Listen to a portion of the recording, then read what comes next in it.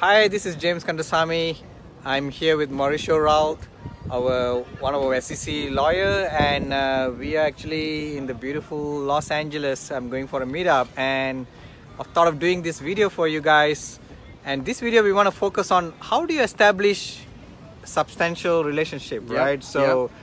Uh, Mauricio, you want to give uh, really some really good tips for yeah, our yeah. audience so, here? So anytime you meet somebody new, right? Like we're going to a meetup and you're going to meet new people, and it's Mm-hmm. you're tempted to go offer them your next deal, right? You got to remember you have to have a pre-existing substantive relationship with your prospective investors if you're doing a 506b, right?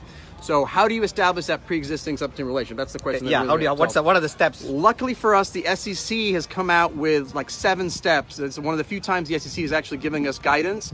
Uh, and there's a no action letter called Citizen VC No Action Letter. And we can Google that, right? You can Google it or you can link it. Citizen Citizen, VC. VC. No Action Letter gives you the seven steps that you need to go through in order to take somebody that's a complete stranger all the way to a substantive relationship so you can then offer them a future deal.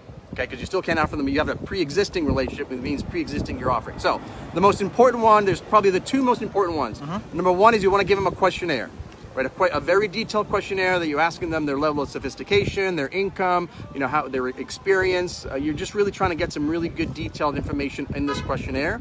And then the second